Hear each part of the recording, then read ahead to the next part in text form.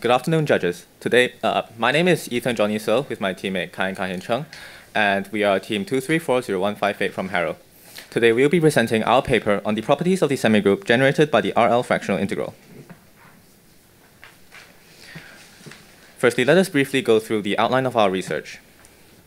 In our paper, we seek to combine three uh, concepts, namely the fractional integral, Bochner-Lebesgue space, and semigroups to form an operator phi, which we use to denote the semigroup generated by the Riemann-Liouville fractional integral.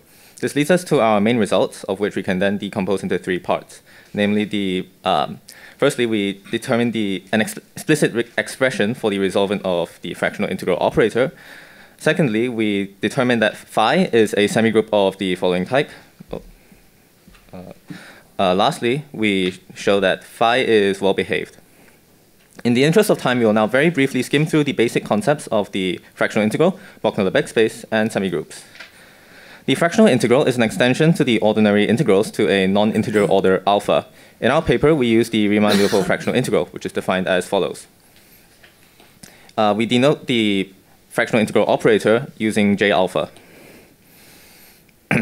C-zero semigroups, also known as strongly continuous semigroups or just semigroups in general, are mappings from the positive reals to the set of bounded operators that map from an arbitrary Banach space X to itself. And they satisfy the uh, following conditions. Now, given a semigroup T, we can define an operator A by the following. And we call A the infinitesimal generator of T. As mentioned before in our paper, we consider the semigroups generated by J alpha. We now move on to some preliminary results. Firstly, the Bochner integral is an extension of the Lebesgue integral to functions mapping from a Lebesgue measurable subspace of Rn to an arbitrary Banach space X. The LP Bochner-Lebesgue space is the space of all Bochner measurable functions f such that the norm of f on x is in the, Lebesgue, the LP Lebesgue space. The norm of a function in LP Bochner-Lebesgue space is defined as the following, and this induces an operator norm on linear operators. Notably, we have the following result by Carvalho, Neto, and Junior, which states an upper bound for the operator norm of J alpha. Now, given a C0 semigroup T, we have that there exists constants m and omega such that the following inequality holds, and in which case T is then said to be a semigroup of type m omega. We now introduce further classifications of semigroups. A uniformly continuous semigroup is a C0 semigroup that converges towards the identity operator uh, in the norm sense, as described by the limit below. And we have theorem one, which states that a uniformly continuous semigroup can be expressed in terms of its uh, infinitesimal generator A um, in the following way.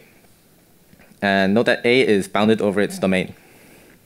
Now, by extending the notion of semigroups to the complex plane, we produce analytic semigroups, which are defined to be operators mapping from a certain set defined below uh, to, a, to the set of bounded operators. An analytic semigroup of, is of angle theta if it satisfies certain analytic properties in this set. Now, suppose that A is a closed operator, then the spectrum of A is defined to be the set of all lambda, such that the uh, mapping lambda i minus A is not bijective. We then have that the spectral radius of A is defined to be the largest lambda in uh, the spectrum of A. This can be calculated using Gelfand's formula as follows. And furthermore, for all lambda which is not in the spectrum of A, we have that the resolvent of A at point lambda is defined as the inverse of lambda i minus A. We also note the two following theorems, namely the Neumann series and the Hille-Yosida theorem. The reason for the topic of our paper is that firstly, J alpha is well known to be a bounded linear operator. And so by theorem one, it is then natural to set the uh, J alpha as the infinitesimal generator of a certain uniformly continuous semigroup. Hence, questions about the properties of this generated semigroup, which we denote as phi, inherently follows. We now move on to our main results and derivations. uh, our first result is that we, explicit, we determine an explicit expression for the resolvent of J alpha. Uh, we do this by firstly using Gelfand's formula and Stirling's approximation to determine that the spectral radius of J alpha is equal to zero. And this allows us to safely proceed to the next step, which is to apply the Neumann series expansion, Leibniz integral rule, and Fubini's theorem to find that the resolvent operator of J alpha, when applied to a function f of x, results in this expansion, whereby we then uh, denote an operator uh, A such that A of f of x is equal to this expression here. Uh, our next result is regarding the boundedness of phi, and states that phi is a strongly continuous semigroup of the following type. Uh, we obtain this result by using the Hille-Yosida theorem to show that phi is of type 1 omega, if and only if the operator norm of A, as defined before, is uh, bounded above by the, uh, this geometric sum. Then, by using the Holder and Minkowski inequalities, we can show that the uh, operator norm of A is less than or equal to this expression, which we then uh, expand to equate it to this sum. Lastly, we show that this inequality holds, allowing us to then infer that phi is of this type. Our next results are regarding the well-behavedness of phi. Our uh, result 2 states that uh, all semigroups which can be expressed in the following way, uh, whereby, A, whereby S is a bounded operator, are analytic with angle theta equals to pi over 2. In particular, we have that phi of alpha kz is analytic with respect to z, for k being a complex number. The proof of this is omitted in the interest of time. However, note that we now consider a complex z instead of a real t. Our next result states that phi is locally Lipschitz continuous on this interval uh, with respect to alpha. And we can obtain this result by using the series definition of phi to expand this expression, which we then rearrange. Then, via Fubini's theorem and the triangle inequality, we find that this expression is bounded below by this seemingly complex summation. However, we can then use the substitution w equals to x minus s to notice that the part inside the absolute value is actually a secant of the following function. And so by the mean value theorem, we can then rewrite the part inside the absolute value as the following. we can then split the integral into two parts and integrate them for a large enough n, and then show that the ratio between the terms decreases to zero as n approaches infinity. Thus, we have the uh, desired result.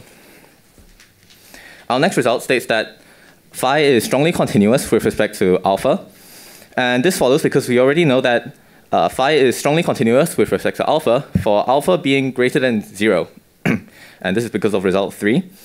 Hence, it suffices to show that this limit is true for all functions. And we can show this by using the fact that J alpha is known to be strongly continuous, meaning that the following inequality holds.